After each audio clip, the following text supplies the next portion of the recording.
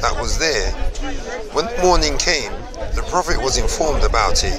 He assembled the people and said, I adjure by Allah, the man who has done this action, and I adjure him by my right to him that he should stand up.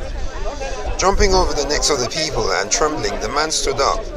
He sat before the Prophet and said, Apostle of Allah, I am your master. She used to abuse you and disparage you.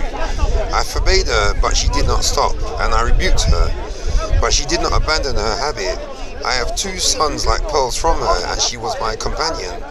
Last night she began to abuse and disparage you, so I took a dagger, put it on her belly, and pressed it till I killed her. Thereupon the Prophet said, O be witness, no retaliation is payable for her blood.